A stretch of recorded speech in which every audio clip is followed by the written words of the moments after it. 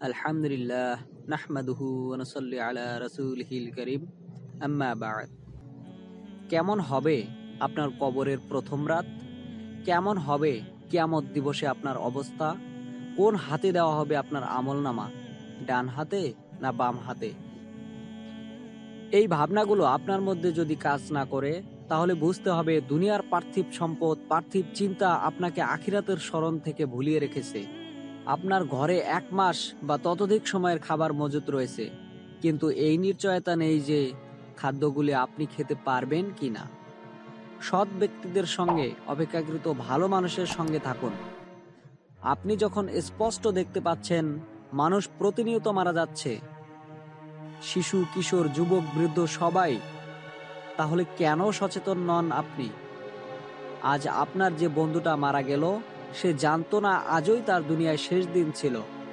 আপনিও জানেন না আপনার শেষ দিন কবে। আপনার পড়ার টেবিলটা ঠিক ঘরের কোনায় থেকে যাবে। বিছানার চাদরও ঠিকঠাক থেকে যাবে। ডয়ারে ছড়িয়ে ছিটে থাকবে মানিব্যাগ, চাবি, ফোনের চার্জার, হাবিজাবি প্রয়োজনীয়, অপ্রয়োজনীয় জিনিস। একপাশে আলমারিতে স্তূপ হয়ে থাকবে আপনার পরনের কাপড়। আলনায় ঝুলে থাকবে সদ্য বদলানো শার্ট, প্যান্ট, পায়জামা, এক কিংবা পাঞ্জাবি। ধাঁধাময় পেঁচানো তারের ডেস্কটপ পিসিটা এক পাশেই থাকবে। নেট কানেকশন হয়তো ছুটে যাবে। একটা আইডিও থাকবে ফেসবুকে সারা শব্দহীন ইনঅ্যাক্টিভ।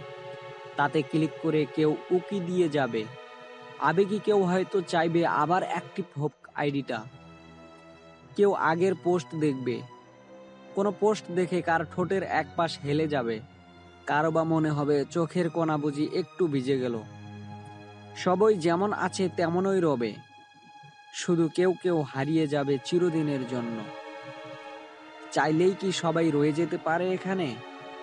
না, পারে না, এটাই নির্মম সত্য। এমন একটা সময়ের অপেক্ষায় আমরা সবাই। তবুও যেন জোর করে ভুলে থাকার চেষ্টায় কত আনন্দ, কত সুখ, কত হাসি, কত শান্তির পিছে ছুটছি আমরা। টিকটিক ঘড়ি চলছে, দুনিয়ার ছোট্ট যাত্রায় আমরা ভুলতেই বসেছি পরকালকে। তাই আল্লাহ তালা আমাদেরকে পরকালের সফলতার জন্য দুনিয়াতে বেশি বেশি আমল করার তৌফিক দান করুন। আমিন।